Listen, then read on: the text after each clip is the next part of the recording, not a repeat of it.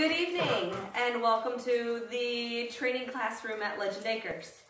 And today we're going to talk about how to safely break up a dog fight. Okay, and I've got three volunteers here this evening. So I'm gonna back up so that you can see them. So today we have Grunt, and we have Legend, and we have Miss Shiloh Ann. Good girl, Miss Shiloh Ann. Okay.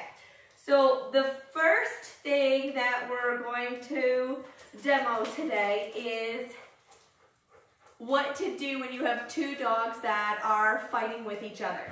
Okay, so right down, come. So if I had two dogs, the first thing that we do not want to do is to stick our hands between two dogs, okay?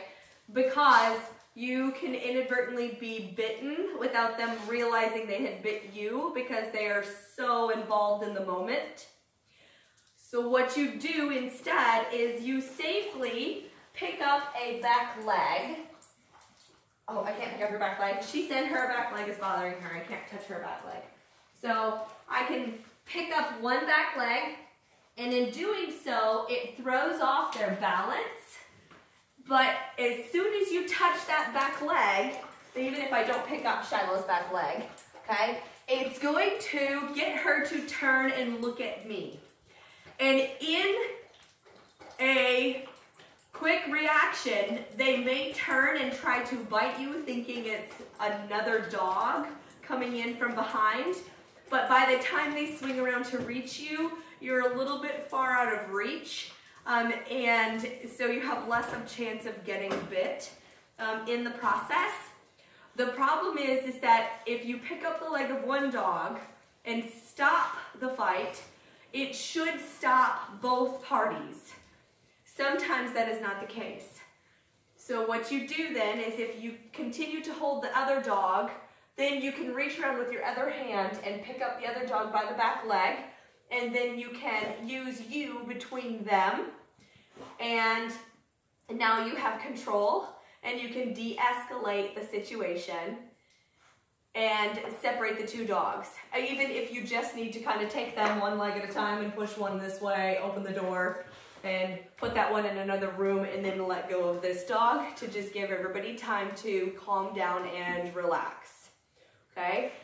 And so I've also seen the method of where you pick up two back legs for the wheelbarrow method, but I'm gonna tell you that the wheelbarrow method sometimes just allows them to be able to then use you as momentum to continue to drive forward into the fight.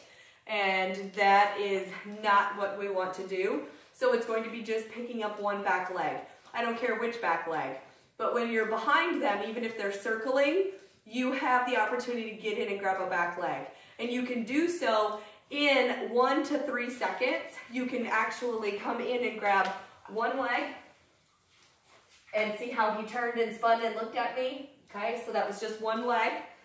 And that's exactly what's gonna happen.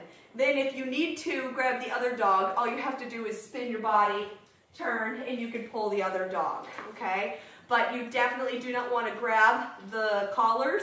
You don't want to stick your hands in between and try to pull them apart. Um, water doesn't work. Um, making loud noises only intensifies the situation. And so banging on something or yelling or anything can actually make the situ situation worse. It is better to remain calm and quiet and to break things up within just a matter of seconds. And doing so, the faster you can get in and the faster that you can get their le one leg each up, the faster the situation is resolved.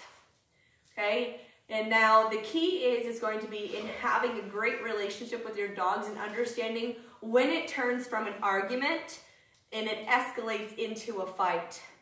When it is an argument, you can step in and stop the argument by redirecting behavior. If they're fighting over a toy, give one dog a toy, the other a toy, take that toy out of the mix give two different toys, send the dogs on their separate way. Uh, if that does not work and it starts to turn into something more than an argument, then what you're gonna do is pick up one dog by the back leg, especially if you can identify the aggressor, stop it before it starts, and then separate the dogs for a little while, then let them come back together with supervised play. Well, I hope that this was very helpful to you in a way to safely stop a fight.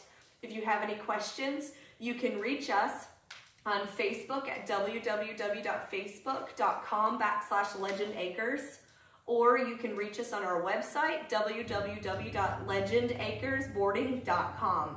And y'all have a great night.